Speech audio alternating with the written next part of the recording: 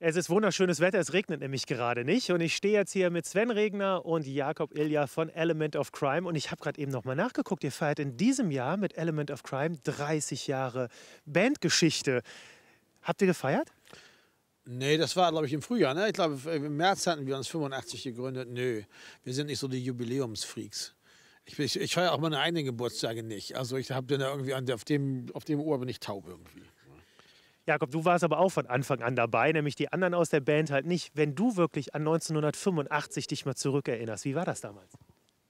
Worauf bezogen? Naja, Anfang der Band, überhaupt so das Lebensgefühl und mit welchem Anspruch seid ihr damals halt auch rangegangen, um Musik zu machen und was wolltet ihr damit erreichen?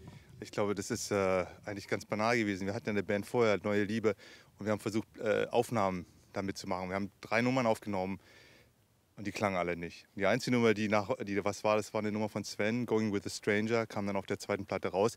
Und dann haben wir gesagt, Moment, das funktioniert so nicht. Sven soll singen, wir machen was anderes. Und das war der Beginn. So banal ist er nicht gewesen. Und jetzt haben wir 2015. Gut, man könnte zurückblicken auf 30 Jahre Element of Crime, aber wir leben im Hier und Jetzt und sind jetzt hier am Weißenhäuser Strand, ein Ort, den du wirklich ja sehr gut kennst, weil du auch als äh, Buchautor äh, im letzten Jahr hier warst mit Element of Crime, wart ihr aber auch schon mal hier. Wie empfindest du dieses Festival und dieses Konzept? Ja, das ist ja ziemlich einzigartig. Ne? Also gut, das ist eher, ich, spiel, ich glaube, wir spielen sowieso gerne in Zelten. Also wenn, wenn, wenn so äh, festivalmäßig, fast lieber in Zelten als Open Air. Open Air ist okay, aber oft auch sehr, sehr groß dann, das verliert sich alles so. Aber in Zelten ist noch was von diesem kompakten das Club- Licht. und Hallending und ja. so.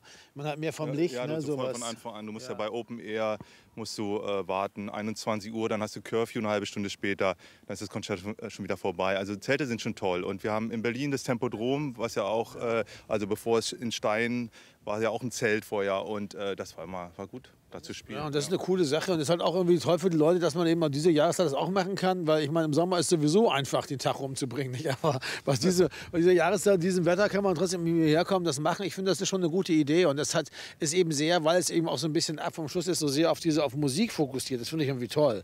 Äh, das, Musik spielt einfach, es, es spielt die absolute Hauptrolle und das finde ich irgendwie klasse. Keine Riesenräder, keine Bungee, kein Bungee-Jumping, weißt? es geht einfach Musik, Musik, Musik und das finde ich toll. Und auch jetzt wirklich, das Line-Up ist ja wirklich was für Musikliebhaber, ne?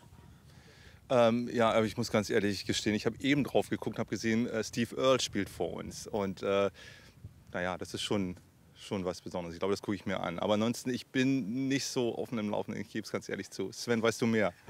Ja, es ist halt, es ist halt ein sehr, sehr, sehr äh, äh, soll ich sagen, ausgebautes Programm. Es ist einfach von allem viel, viel da.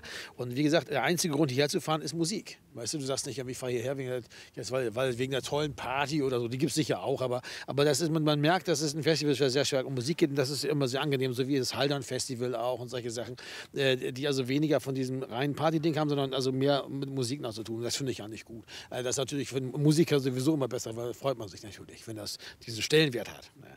Aber man merkt es ja auch an dem Publikum, die nämlich hier hinkommen. Es sind natürlich jetzt nicht unbedingt die 16-, 17-Jährigen, die halt auch auf Party aus sind, sondern ich sag mal, unser Alter äh, findet sich halt auch hier wieder und äh, findet dieses Konzept natürlich halt auch klasse. Man muss halt auch nicht zelten. Ja, das ist ja klar. Ich würde das auch nicht mehr machen. Das sage ich ganz ehrlich. Und das ist halt auch gut. Das ist dann auch der Punkt, dass man, dass man Festivals machen kann, ohne dass man das auf sich nehmen muss. Äh, das, das, denn, dann ist es ja nichts falsch daran, dass man mit 40, 50 Jahren auf ein Konzert geht nicht? oder auf Festivals geht. Und das ist ja, äh, und das, das finde ich gut. Und gleichzeitig ist es aber eben nicht nicht so eine bestuhlte, gesetzte Sache, sondern du hast eben dieses Zelt und hast die Stimmung und Leute stehen da und es geht irgendwie gut. Ne? Finde ich, find ich stark.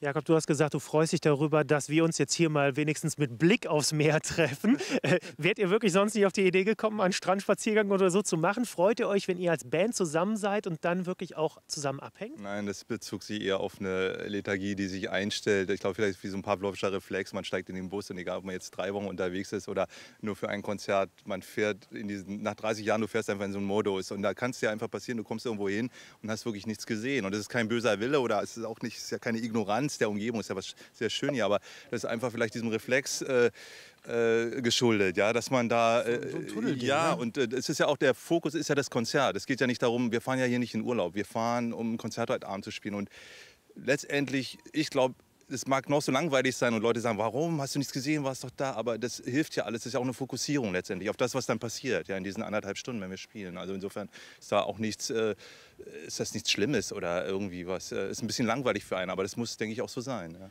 Ja, ich kann mich nicht entspannen im Vorfeld von einem, am selben Tag vor so einem Konzert. Kann ich nicht. Ich muss mich darauf irgendwie, habe ich das Gefühl, konzentrieren. Und das bedeutet halt, ich kann zwar hier rumlaufen, aber ich sehe eigentlich nichts. Weißt du, insofern ist das jetzt hier so, ja, kann man, haben wir mal gesehen. Nicht? Also immerhin. Vielen Dank dafür. Vielen Dank dafür. Ja, wunderschön, dass ihr auf jeden Fall wieder hier seid. 30 Jahre Element of Crime. Kriegen wir ein Best-of äh, zu hören? Steht die Setliste für heute?